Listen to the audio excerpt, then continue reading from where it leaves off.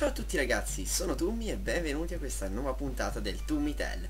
Come vedrete da questa puntata in poi saranno ambientate le nuove puntate in questa location incredibile che non è altro che il mio sofà con i miei poster però eh, così almeno sarà una specie di vlog, questo sarà un vero vlog diciamo con, eh, così mi potrete vedere in faccia. Eh, allora le prime news che ho da darvi come sempre eh, è il raggiungimento appunto dei 3500 iscritti, li avevo già raggiunti in verità da qualche settimana, però volevo ringraziarvi tutti naturalmente, una tappa importante e sarà Rod to 4000 speriamo, quindi molto presto speriamo di, essere, di andare anche a 4000 che sarà diciamo il prossimo obiettivo. Eh, quindi vi ringrazio tutti. La prima cosa di cui volevo parlare è la live di Halloween. Allora, eh, la live di Halloween c'è stata una mh, mm, parecchia partecipazione, sono contento di questo e sono contento che vi sia piaciuta perché è venuta veramente bene, vi siete divertiti, vi siete, noi ci siamo spaventati tantissimo e sono contento che anche sono riuscito a salvarla e così eh, l'avete potuta vedere per praticamente queste tre settimane e adesso non so perché si è cancellata cioè praticamente Twitch te, ti cancella, quanto ho capito, dopo un po' le live. Non so perché, perché io gli avevo messo save. Però infatti me l'ha salvata per poi, poi me l'ha eliminata. Quindi non capisco se è Twitch che è stupido che me le elimina quando ha voglia. Oppure sono io che non controllo mai la mail. E lui mi avvisa ma io non la controllo e quindi mi eliminano le live. È più probabile la seconda, decisamente. Comunque mi dispiace che adesso non è più visibile, spero che comunque in tre settimane l'abbiate avuto l'occasione di guardarlo almeno una volta. Non ho fatto gli highlights perché non sono riuscito a esportarla, ma comunque non aveva senso fare gli highlights, era bello vedersela tutta di fila perché comunque c'era la tensione, gli spaventi, è venuta comunque molto bella. E adesso che ho capito che live, Twitch mi cancella le live dopo circa due settimane e mezzo, eh, la prossima volta cercherò di non commettere più questo errore e magari proprio registrerò il video mentre lo facciamo e lo metterò su YouTube direttamente. Però ricordo che le live saranno sempre su Twitch perché comunque è andata abbastanza bene non ha laggato troppo la webcam un po' sì però vedremo di essere più preparati la prossima volta. Però comunque è piaciuta parecchio ci siamo divertiti anche noi quindi sicuramente ne faremo un'altra magari perché no sempre sui giochi horror. Zumpa non sarà contento di questo Bene, ora tornando a parlare delle nostre classiche rubriche, la Nuzlocke sta andando benissimo e sono contentissimo di questo, visto che vi piace tantissimo la Nuzlocke, anche a noi piace tantissimo. Eh, da adesso ci saranno delle puntate, mi sembra due o tre puntate, con degli ospiti speciali, ve lo anticipo, eh, che poi chiaramente gli ospiti speciali saranno amici nostri, comunque vedrete cosa succederà, alcuni li conoscerete già, altri li, li conoscerete col tempo, comunque solo per queste due o tre puntate così ci saranno degli ospiti incredibili. E sono contento appunto che vi stia piacendo la Nuzlocke anche noi ci stiamo divertendo parecchio molto divertente con le mosse randomizzate eh, per quanto riguarda invece Pokémon Avventura Fento eh, sono contento che anche questa vi sta piacendo perché all'inizio eravate partiti un po' meno però adesso ho visto che comunque la state iniziando a seguire beh, seguitela perché è veramente molto molto bella eh, come, come ROM quindi e ringrazio sempre Megabisha perché ci dai consigli ogni volta eh, ovviamente il programmatore della ROM invece parlando di Zelda Zelda. Già, Zelda è eh, due mesi e mezzo, forse tre, che non la faccio più. E vi chiederete, perché non fai più Zelda?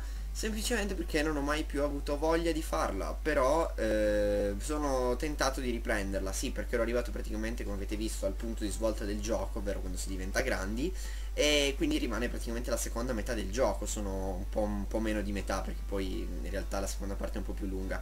Però eh, sarei veramente tentato di riprenderla visto che me, la, me l'avete chiesta in più di uno e allora molto probabilmente da dicembre, sicuramente da inizio di dicembre riprenderò Zelda e andremo con un ritmo un po' più serrato se riesco e conterò di finirla in qualche mese insomma però cercherò di registrare sicuramente più parti.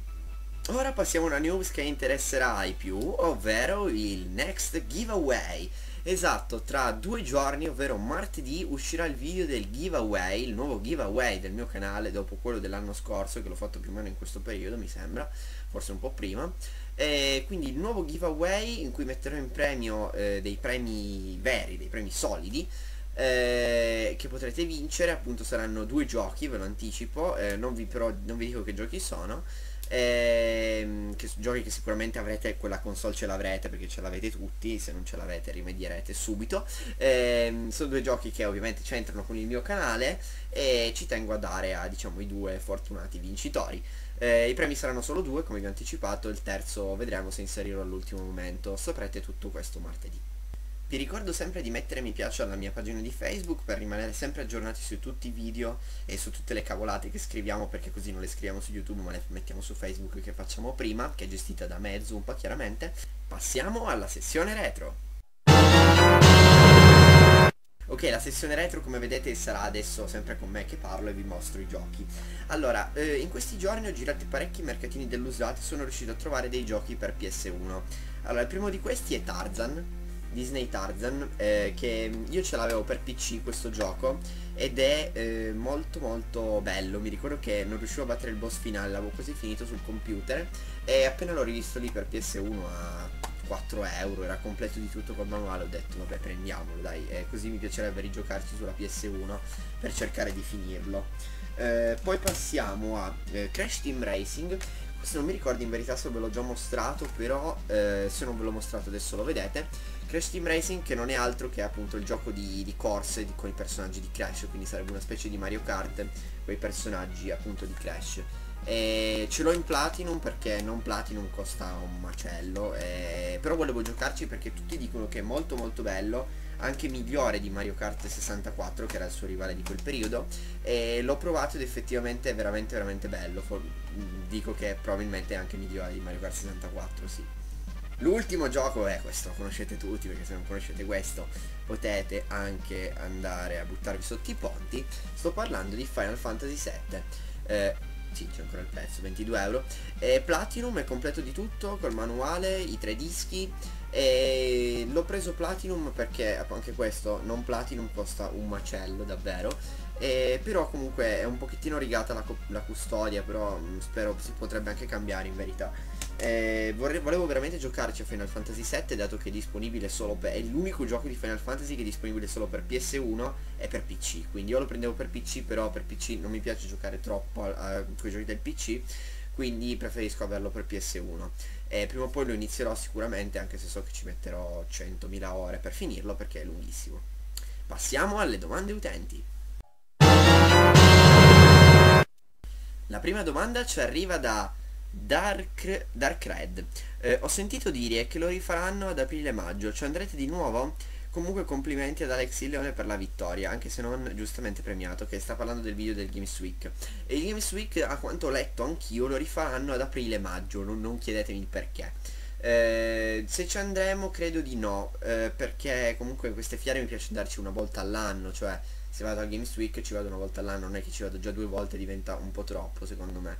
Eh, quindi ha senso. Sicuramente ci saremo il prossimo anno questo sicuro mh, mm, quasi al 100% e ad aprile maggio invece c'è un'altra festività eh, un'altra fiera che c'è nel, nella mia città ovvero Torino che è il Torino Comics. Lì ci sarò di sicuro eh, però non so quanti di voi siete, siete, di Torino perché comunque non è una fiera grandissima però insomma è comunque una fiera di fumetti cosplay videogiochi eccetera eccetera.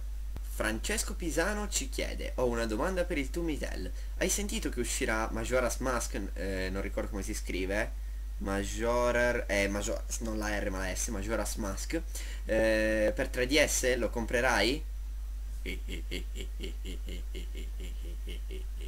Dario Coladonato Aspetta ma io ti conosco Ci chiede tu te lo compri un nuovo microfono? Eh, sì, conto di comprarmi un nuovo microfono eh, anche prima di Natale probabilmente eh, perché mi serve effettivamente perché per ora sì sto usando quello incorporato però sto sempre notando che ha qualche ogni tanto quel rumore di fondo che prima non si sentiva però eh, diciamo che con un udito più fine con i video cioè migliorando piano piano la qualità dei video si sente un po' questo brusio di sottofondo e comprando un microfono un po' più professionale non esageratamente professionale però qualcosa di un po' più professionale eh, chiaramente questo brusio si eliminerebbe ed è quello che conto di fare appunto tra neanche un mese quindi probabilmente sì avrò un nuovo microfono. Non mi ricordo assolutamente la marca anche se l'ho già messo tra i preferiti su Amazon Pinco Pallino mi chiede Appena vi ho visto in webcam ho incominciato ad applaudire Grazie. Farei una guida su Pokémon Dark Rising. Allora, Pokémon Dark Rising è una ROM strana. Allora, vi dico il perché. Adesso in classe mia praticamente stiamo tutti in fissa con Pokémon Dark Rising. Tutti giocano a Pokémon Dark Rising perché, eh, non so, ci ha preso quest'hack. Eh, solo che è difficile, molto, molto dannatamente difficile e non sto dicendo che si può fare, cioè se mi impegno ce la faccio, no, è proprio difficile, tendente all'impossibile. E me l'ha detto anche Zumpa questo perché lui è arrivato fino alla fine e mi ha detto che il campione è impossibile da battere, io adesso non so, eh, non ci sono ancora arrivato al campione, non so eh, se è seriamente impossibile, però mi ha detto che bisognerebbe nella storia evsare i Pokémon, prendere le nature giuste, quindi è già molto più evoluta come hack ed è molto molto difficile, quindi magari per una sfida veramente complicata si potrebbe fare in un futuro. Ne parlerò con Zumpa e vedremo. Perché Zumpa non è pan bagnato? Aspetta, lo chiediamo a Zumpa. Perché Zumpa non è pan bagnato? Perché? Perché? Eh, bella domanda. In realtà Zumpa una volta era pane, ma non pan bagnato, bensì pane asciutto. Però un giorno, un triste giorno di novembre, con 38 gradi e il vento ah, molto forte, il vento molto forte, non so quale sia la misura del vento, non me lo ricordo più, forse chilometri orari, ma comunque non divaghiamo. Una volta il grande Zumpa era un pane asciutto, una frusta per giunta, una delle più buone dal mio punto di vista. Però un giorno fu acquistato da una signora, una signora anziana. Si chiamava Emma Botticelli. Proprio dalla Venere del Botticelli era la bis bis bis nipote appunto, ma era comunque molto vecchia. Comprò questa frusta molto morbida, molto buona, che era appunto zumpa, ma non contenta del fatto che fosse morbida e buona, la inzuppò nel latte del discount. Il povero Zumpa si bagnò e diventò pan bagnato. Da quel giorno non fu mai più lo stesso. I medici gli riscontrarono un tumore. Un tumore che prende proprio la mollica del pane bagnato. Passò innumerevoli mesi tra cure, ospedali, medici specialisti, ma nulla da fare Zumpa morì. Ma poi trovò un fosso, un fosso, qualcosa da cui ricominciare, qualcosa per cui lottare. E da lì nacque dal morto Zumpa il pan magnato, nacque Zumpa Fossi, il re dei fossi, colui che salta i fossi, che va lontano, colui che persevera nell'ideale della vita vissuta saltando. E così sia.